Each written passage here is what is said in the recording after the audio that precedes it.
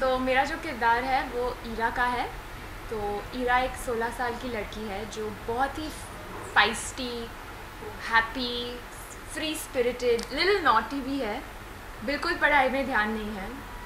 और um, बहुत ही मतलब उसके सपने बहुत ही बड़े हैं। वो शिमला में रहती है। एंड uh, बस बहुत ही हैप्पी लड़की है। इनोसेंट है। तो um, तो मेरे लिए ईरा का कैरेक्टर बहुत ही इंटरेस्टिंग था।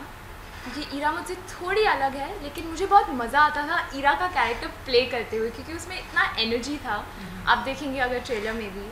और she is always up to something and thinking about something तो बहुत ही इंटरेस्टिंग कैरेक्टर है। एंड um, उसके बाद सिक्स ईयर्स का एक गैप भी आता है। And Ira becomes twenty two years old तो उसमें मैं थोड़ी बदल जाती हूँ। Of course six years is a lot of time तो ऐसे दो टाइप्स के कैरेक्टर मुझे ये मौका मिला निभाने के लिए तो मेरे लिए बहुत ही ज़्यादा एक्साइटिंग था।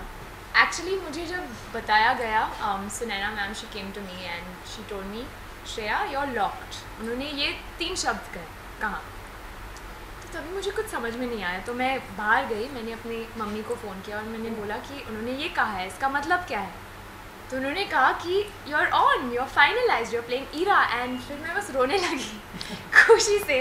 तो मैं बहुत एक्साइटेड थी। मैंने जब भी स्क्रिप्ट पढ़ा इट वॉज़ वेरी रिफ्रेशिंग क्योंकि आई डोंट थिंक कि हमारे ऑडियंसिस ने ऐसे एक कंटेंट um, को एटलीस्ट रिसेंट टाइम्स में देखा है। So it's very refreshing it's very different and I love the script and I hope the audiences love it too mean सबने बहुत ही बड़ा काम किया है पहले लेकिन as a main head director head cinematographer as an actress हम सबका डेब्यू है। So it was very exciting the energy was very very young and fresh and very excited and like there was a lot of passion on set.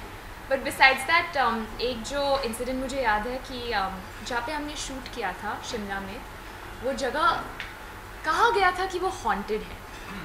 तो uh, मैं तो बहुत डरी हुई थी लेकिन uh, जो माहौल था हमारे प्रोड्यूसर्स ने हमारे डायरेक्टर ने बनाया आई थिंक एक हफ़्ते में मैं वो जगह छोड़ना नहीं चाहती थी। वो मेरे लिए मेरा घर बन गया था। आई थिंक मैं थोड़ा रोई भी जब भी मैं लास्ट डे का शूट था शिमला में।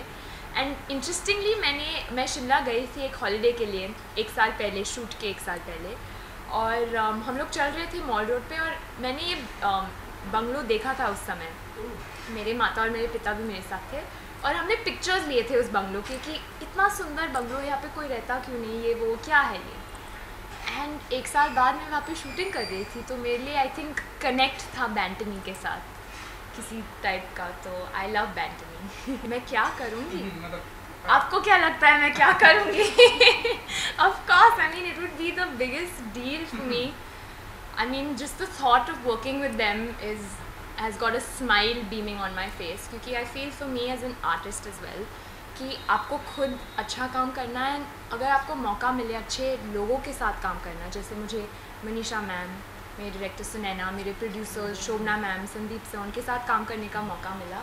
I think besides the work it's also the journey and it's the people who make the journey as well तो मेरे लिए तो बहुत ही बड़ी बात होगी and the best thing ever right ना I just go with the flow let my film release for me मैंने कभी ऐसे सोचा नहीं था कि मैं ऐसे टाइप का रोल करूँगी ऐसे टाइप का फ़िल्म करूँगी। मुझे अच्छा काम करना है अच्छे रोल्स करने हैं।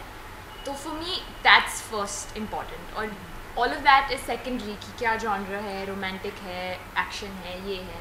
So for me it's the content in my character that's most important तो या but hope So to everybody out there, I just like to tell you ki never lose hope in anything that you do because I was hopeful. I'm getting to live my dream today, and I'm sure you will too. So never lose hope.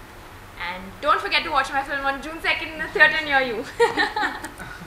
okay, thank you, thank you, thank you so much. Thank you so much.